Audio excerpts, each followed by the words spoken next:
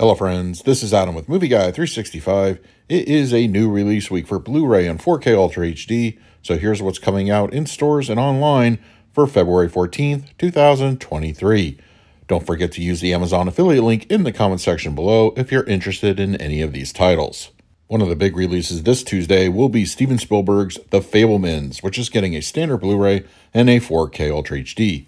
Both will be readily available in stores at Best Buy and Target and of course, various online retailers. The latest Disney animated film, Strange World, is coming out on Blu ray and 4K. Now, the Blu ray edition will be available locally and at online retailers. Now, if you want the slipcover of the 4K, the only way to pick that up is if you're a member of the Disney Movie Club. It will not be available in stores or at other online retailers. Now, if you don't mind steelbooks or if you're a steelbook collector, Strange World is getting a 4K Best Buy exclusive steelbook only available at that retailer. It is confirmed to be in stores on Tuesday and on their website for shipping. So, once again, the normal 4K, you have to pick that up through the Disney Movie Club, but if you want the steelbook, the 4K edition will be at Best Buy. From Warner Brothers comes the 2022 film House Party, which will be available at only online retailers.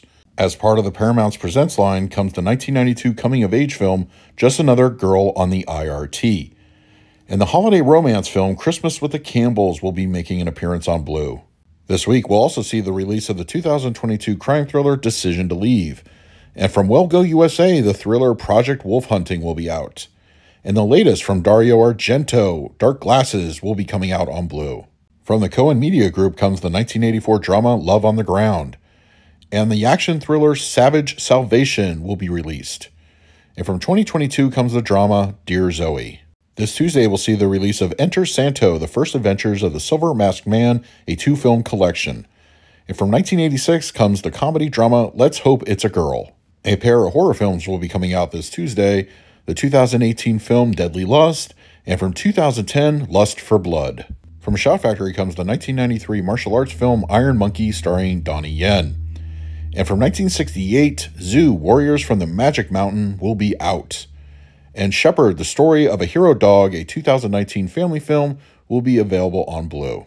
Arrow Video has Giallo Essentials The White Collection, three movies from 1971 to 1975. This week from Kino Lorber, the Francois Truffaut Collection, four movies from 1970 to 1978. Kino is also releasing the 1968 mystery film The Bride Wore Black on Blu ray, and Mississippi Mermaid from 1969 will also be getting a release. And the 1975 biodrama The Story of Adele H. And from 1933, White Woman is coming out from Kino.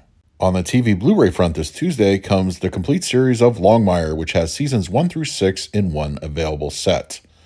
And American Gigolo Season 1 is getting a release on Blu.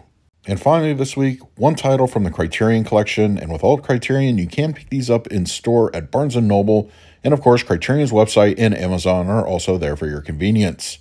The 1968 film Romeo and Juliet is getting a Blu ray on Tuesday. As for my own pickups on Tuesday, Steven Spielberg's The Fabelmans on 4K, I'm absolutely looking forward to. In fact, I already got my copy this past weekend. And Strange World, the 4K Steelbook from Best Buy, as well as Dario Argento's Dark Glasses. I saw that one on Shudder, and I definitely want to have that one in my collection. And lastly, I'm definitely adding the Criterion edition of Romeo and Juliet. Now it's your turn in the comments section below. Let me know what you are planning to pick up on Blu ray and 4K this Tuesday. And don't forget to use the Amazon affiliate link in the comments section. It really does help out the channel. And also let me know what are you looking forward to in the coming weeks. I know next Tuesday, there's a lot of good titles to talk about, so I'm looking forward to the next couple months. And finally, a special thank you to all my Patreons for your continued support. It is greatly appreciated. If you would like to support me through Patreon, I will leave a link in the description of this video. So until next time, this is Adam with Movie Guy 365. I will see you at the movies.